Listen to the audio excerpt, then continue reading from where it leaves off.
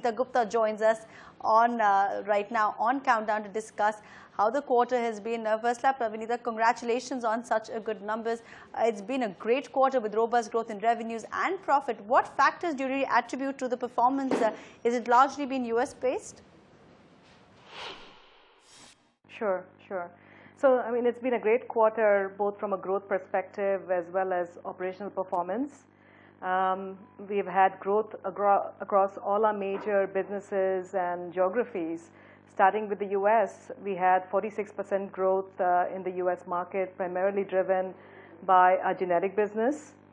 Uh, our India business grew 26%. Uh, so um, we were very, very pleased that, um, you know, coming from the last year when we had a, had a real challenge with the India business, uh, we, we have uh, now a very strong growth momentum starting this year.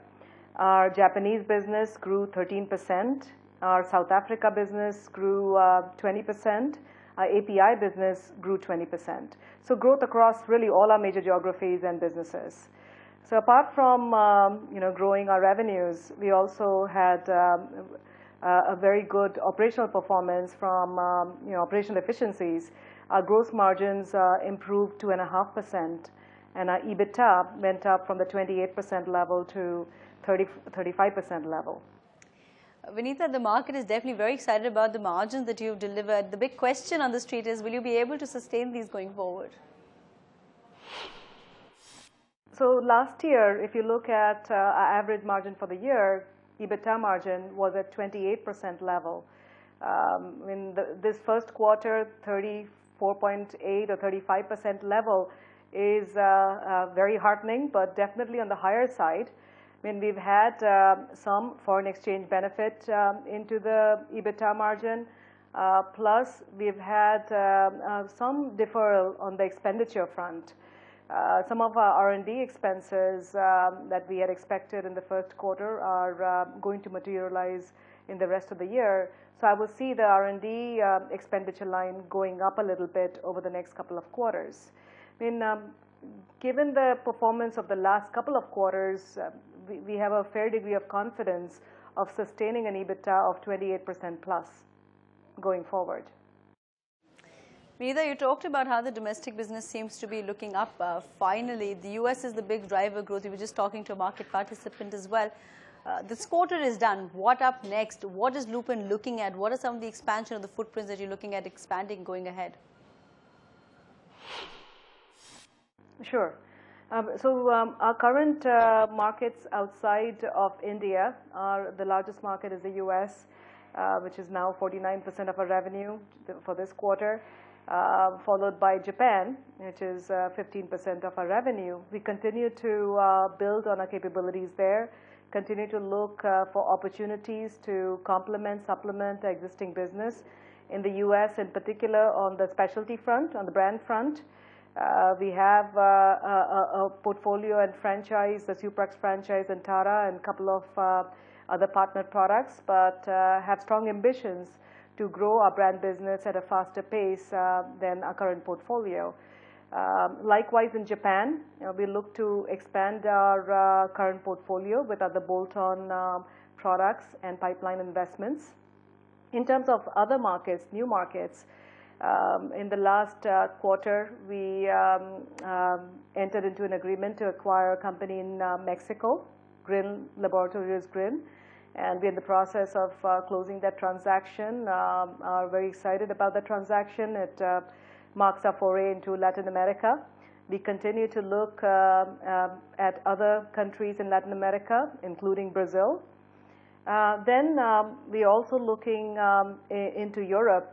You know, currently, Europe is a very small percentage of our revenues, really 3% of our revenues. We really don't have a strong presence there.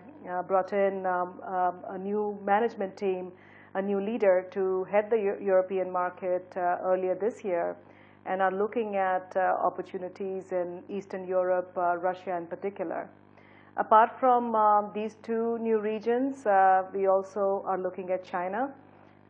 Just given the scale and the, of the China market and where it's going over the next five years, we'd like to be in um, with the right uh, platform, with the right uh, organization and are, are, looking at China as well uh, to, to find the right uh, foot into the market. Well, I hope uh, that materializes soon, Vinita, for you. Uh, let's talk about something more domestic and the worries for the pharma industry about the changes in the pricing policy and the price controls that are coming in. What kind of impact do you see on Lupin and uh, the industry as a whole? I mean, um, certainly it has an impact on us. Uh, uh the additional 108 drugs that the NPPA decided to bring um, under price control uh, um, will have an impact uh, on our pricing for our India region business uh, to the tune of um, around 12, 13 crores.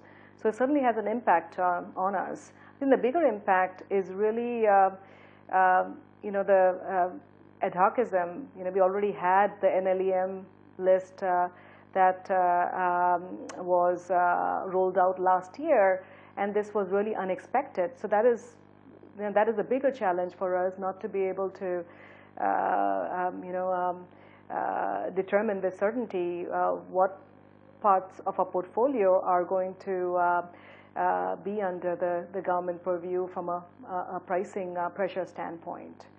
Um, so, so that continues to be a challenge going forward. Um, you know, likewise, uh, there's no dearth of challenges in our industry as much as opportunities.